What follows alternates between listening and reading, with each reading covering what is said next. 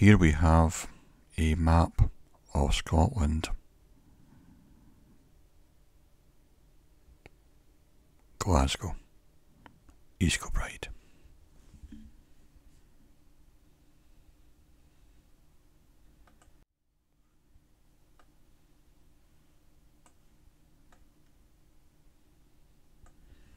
A long time ago, I decided to travel from Glasgow to um,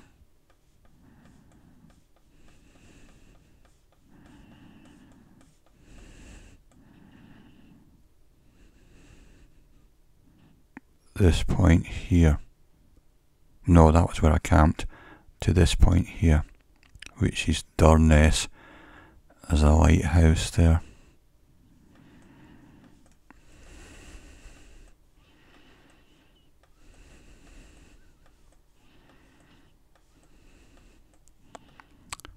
And so I had a bicycle, which was my transport, and a tent, which was my accommodation, and I had some food, which was just packets or tins, which I was carrying with me. And the holiday itself, in a lot of ways, didn't really cost very much. It was for 30 days. A 30 day adventure. I hadn't really seen much of Scotland, if anything, so I thought I would, I would see it by a bi- using a bicycle. And then I was camping out every night in the wilds. So I was connected to nature and occasionally I would buy some tins of food, whatever, out of a little shop. And I had a little uh, gas stove with these wee capsules, canisters you'd put in it. And I had a small one, it was a half size one, because I was very aware of what I, what I had on the bike had 60 pounds worth of stuff on the bike in weight. So I had cooking facilities, food, accommodation, transport. And it wasn't going to cost me much more than it would be if I was at home. Because I wasn't paying for any accommodation and I was only incurring the cost of food, say, and uh, that meant that it wasn't really costing me anything. So this means I could extend it for a month, and uh, I made a decision. I made a decision to not be in contact with anything during the tour of Scotland, and I would. Um, I ended up I travelled 1,000 miles. But I didn't have any, you know, no mobile phones in those days, and I didn't have. I made a decision not, not to read any newspapers or periodicals, and I didn't even have a radio with me. So I um, was totally off grid, totally out of contact with everyone. No connection no means of contact and not even listening to the news from a radio. A couple of people I met on a journey, other cyclists, were surprised that I didn't at least have a radio with me. They just thought that was further than what they would be willing to do. So I started off from centre of Glasgow and pointed my bicycle north. And I then thought a thousand mile trip starts with one revolution of your pedals, so I'll just keep pedaling. I thought to myself, eventually I will get to Durness lighthouse and then I'll make my way back to over here uh, or, or there, Dunfermline. That's how I was going to end up back there. So it was the, the, the tourist route, the long route. So I set off and from, from Central Station in Glasgow, then I went up to Buchanan Street Station and I distinctly remember I was standing in a lane, get myself prepared because I was going to be heading out north from Glasgow that night and there was this cat came up to get help and attention from me, and I, I felt horrible. I feel horrible to this day that I had to abandon this cat, and I can't get the memory out of my mind as I was cycling away. I was standing in this horrible cobblestoned alleyway full of filthy bins and all that sort of stuff. I didn't have these weed bins in those days, just these tin bins and things. It was a mess, and this cat was appearing with expectant eyes and I had to leave it behind. And as I cycled away, I looked back and it was, it was staring at me. So I, I went out, uh, cycled through uh, Bishopbriggs, heading north out of Glasgow, and ended up in the at the base of the Campsie Fells, right on on a stream, next to a stream, and I camped there overnight. Then I, carried on. This was mid June into mid July, so it was very long days. I chose the time of the year for maximum light, so I carried on cycling and camping out, covering each night, covering maybe 30, 40, 50, 60, 70, 80 miles a day, just depending on what I wanted to do, and carried on. I don't remember encountering Loch Lomond, so I must have came along down this way somewhere in here and along. So after the the Campsies, the next place I remember was um, Aberfoyle, and I remember sitting there, and it was uh, quite pleasant. And I was sitting there in a, a public park in Aberfoyle. That was like day two and then I carried on up this way and along here and uh, just trying to get my bearings. And uh, through a place called Tyndrum, Tyndrum. And then I cycled through Bridge of Orchy, over the bridge itself, and I camped, um, made a big campfire at the bottom of Ben More, which I think is a Munro, it's over 3,000 feet. It's a fairly nondescript, big, round hill, mountain, 3,000 feet. I camped at the foot of that, and that's where I actually decided to lie on the railway, uh, sleep overnight on it. And I then headed up here. And around the Devil's Elbow and um, over Rannoch Moor, about 1200 feet up.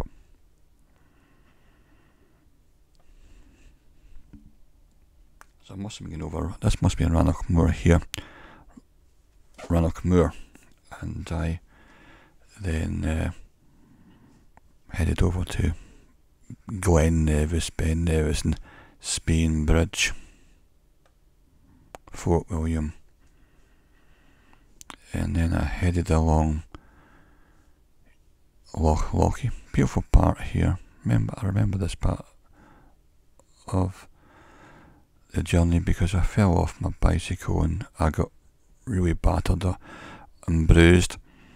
But I never had a first aid kit, so I just got some bits of paper that I found and string, a newspaper magazine, just tied it, tied it around my knees to stop the blood. And uh, I carried on on on the other side, the east side of Loch Ness, which goes through a place called uh, Foyers. It's a power station, power generating hydropower. So I went on the east side, not the main road side of Loch Ness, which was beautiful. The other side, much better. And I remember coming into Inverness, I, I camped out in some woods six miles south of Inverness, and I couldn't get my tent pitched. It was bracken, and I couldn't get the, the the tent pegs in, so I just had to lie outside hoping it wouldn't rain. And I was really starving. I'd been cycling about 80 miles that day. I was so hungry, but I couldn't get any food anywhere, so it was about 11 o'clock at night, It was still really bright light, and I couldn't pitch a tent, so I just had a Mars bar, but I could have done with a slap up meal. I remember coming into Inverness in the morning, and I was looking for the public toilets in the centre so I could have a wash and brush up, and I just remember it just seemed to me as if the place was crowded and people were speaking in a strange tongue. It's just a perception when you're away from everything. I just thought Inverness was a bustling place. And then there was no, that's a bridge now, the Kessock Bridge, massive big bridge with phenomenal amount of traffic, but that, that didn't exist at the time. So I had to find how to get across here, and this wee ferryman was down the pub somewhere and he turned up after a couple of hours and like a wee rowing boat type of thing. I got on this wee boat, um, it only had enough room for me and a couple of bicycles or something like that, and I went over here and uh, to the other side to Kessock. And I carried uh, carried on through uh, Muir and I remember that because I I broke a wheel. I, I came down this steep hill and hit a pothole and my back axle and wheel just broke. So I spent the next day trying to find a bicycle shop somewhere to get a, a back wheel replacement or a hub. I remember this shop, I was in a bicycle shop, and this guy looked like Rikki Fulton. He spoke with this almost like a kid on accent. And I was, negotiating, trying to buy buy a wheel off of him. And I carried on uh, through the Corrieshalloch Gorge and to our pool, which was fantastic there. And cycled it's a really steep hill as you go out. There's Loch, that's that's Loch Broom, I think, or Little Loch Broom. I think that one there is a Loch Broom. Cycled out really steep hill about five miles up when you get the absolute phenomenal. I always remember that Ardmair Bay, and you could see the the Coigach, Benmore Coigach Ridge. Fantastic, never seen anything like it. This was seeing all this for the first time on a bicycle, and uh, going at almost like stage? Coach pace. So you felt every every kind of uh, elevation and how nuance. And I headed up, kept going north, just pointing my bike north, keep going, keep going. Eventually I got to somewhere, I think it's called Keodale, and that's Sango Sands, and there's, um, no, that's that's actually a Loch Eriboll there. That's Sango. That's Sango Sands there, and that's there was a campsite I camped there in. I thought it was a bit of a wimp, but this was a campsite which I could use as showers and stuff. Uh, but I still wasn't inside. And then I uh, got some sort of ferry. Again, it was just like a rowing boat. And go over here. And it was 11 miles then from this point to the lighthouse and uh, went into the lighthouse and uh, introduced myself as the guy they used to hear on the phone. I used to speak to these lighthouse keepers. And I came back down and uh, seem to remember Loch Shin. I'll try to work out how I got to uh, over here. Because at some point I was cycling right along Loch Shin because it was very moody there and really creepy. And I was getting extremely depressed. And every time I passed anywhere, it was black. And I thought, this place is giving me the spooks. There was wee black houses and black cars, and everything was black. And I thought the whole place was haunted. And I was getting really depressed and quite scared. And then I thought, why is everything black around here? And I saw a phone box. And I thought, well, that can't be black. And it was. The phone box was actually black. The only time I've ever encountered that. And that scared the Jesus out here. So I tried to get away from this place. And I headed back over um, this way. And that's a bit, that's an incredible wilderness there. I was on these tiny wee tracks. And I came across here. And uh, just trying to get my bearings here.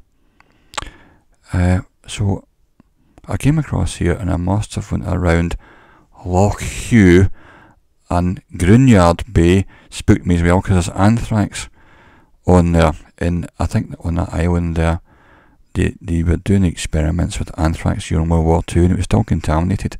So I was staring at that and it was making me weak at the knees just thinking of this island as, as a World War II experimental place.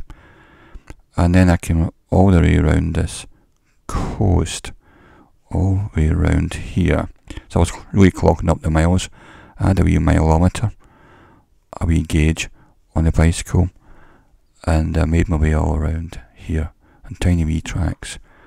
And then got on the ferry to here, oh, Kyle Lochalsh. Um, I was also down Eilean Donan Castles around about there, and Balmacara, camping there, and I went on the ferry. That's Elgol Peninsula there. And the Cuillins are here, from the south, east, and that's Elgol, where Ian Anderson owns quite, a large part. He had a fish farm there. So I came on here, and went, went uh, there came, there was a crossroads here, and I was going to go to Portree, or and I thought I can go another way, or I'll go clock up some more miles. So I went down here, and I camped out uh, here. It's Glen Brittle. Camped here, and I thought the next day I'll maybe go to the Old Man of Storr and the Old Man of Storr is um, is here somewhere. That the Star Ridge is around about there, and I was here, the complete extreme other point. So what I did was I left my sleeping bag on on the rails here on a fence on a, a fence and thought oh that will give it a nice airing. It was right out to sea and get so that when I come back I can get a nice dry sweeping bag. That didn't happen. When I came back, my sweeping bag was absolutely sodden with sea spray. So what I did was the next day, I cycled all along the Elgol Peninsula, all the way up here. And there's an incredible hill, this bit. This is almost, almost about five miles. My legs are hurting just thinking about up, up this hill to Portree. By that time I'd covered 40 miles and I met a guy I knew from school in a campsite here. And he said, Where are you heading for? I said, I'm heading up to the Storr, the Old Man of Storr. From there to there. He says, You realise how far away it is on a bicycle? He says, you, can, you never make it, it's too far away. I said, I just came I just came from there to here. And I'm going back as well. And I'm going to do the ridge. So I headed up here and then I walked up to the Old Man of Storr and touched it. I didn't climb up it. And I then went along the whole Star Ridge and came back down, cycled all the way back down here to to where I was camping, thinking great, get some grub and get a good night's rest with um, a fantastic dry sleeping bag, all nice and aired, but it was sodden absolutely sodden. And then I couldn't get a wink of sleep that night, and it was really windy. And my really cheap tent, only cost me about 20 quid, was rubbish. And the guy ropes and all that were all strained, and I felt like I was getting punched all night because it was bending in the wind. and I felt like someone was just mildly punching me in the face with a with a boxing glove all through the night. And then uh, I headed uh, back off of Skye, back over the ferry, and I headed right over this kind of way and made my way down this stile, down the east side, heading right down to Dunfermline. So when I when I looked at my mileometer after the whole journey, it was uh, a thousand miles, and that's what I was trying to do. So I'd been outside for each all all day. You're outside, and all night you're just lying on the land. You're never inside anywhere. So what was happening is that if I actually walked into what what was always little small shops, I was just buying buying some food or something. And when I went into these tiny wee shops en route, I used to feel dizzy and claustrophobic because I was so used to being outside all the time that um, when I went inside somewhere, I started to feel like very stifled and claustrophobic, and I had to get out of the shop very quickly. So it was about. Uh, but what happened was because I was very close to nature, I felt everything very vividly. And I remember being obsessed by water. So I used to always have a wee water bottle um, with me, full of water, because I thought I feared running out of water. And I used to stare at the water and see it as magical. This bottle of clear water. So every time there was a stream I was nearby, I used to fill my water bottle up